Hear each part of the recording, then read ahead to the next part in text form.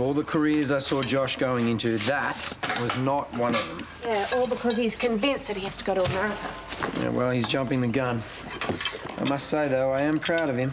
Yeah, me too. Although he is carrying a terrible burden unnecessarily. Did I miss something with Daniel and Imogen?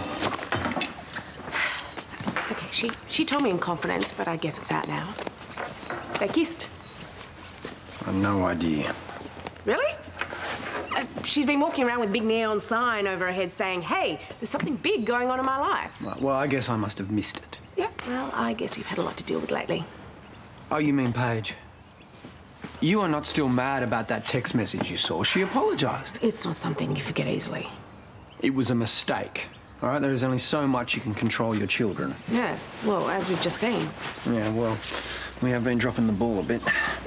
I'm doing my best. I didn't say you weren't. Particularly given that Paul seems to be incapable of hiring a new EA and he's dumping all this extra work on me. Anyone in my position would miss a few details. Okay, well, instead of blaming each other, can we focus on the issue? We have lost touch with our kids, and we need to get it back. Starting with convincing Josh that America is not necessarily the solution. You know, maybe we should get Lauren in. Strength in numbers. No?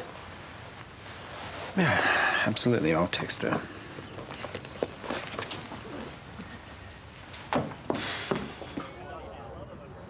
Enjoying it? I wouldn't say enjoying exactly. I read it in German. Seriously? And apparently that's the only way to understand Kafka. Did you? I wouldn't say understand exactly. you okay?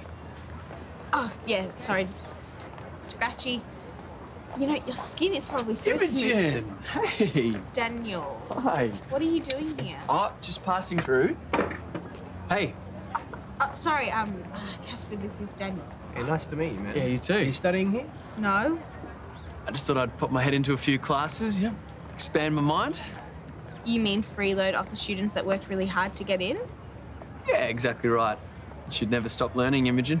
Well, that's why I'm hosting a public seminar on sustainable living. You should stick around. No, no, no, I'm sure Daniel has. Oh, I would love things. to. That sounds amazing.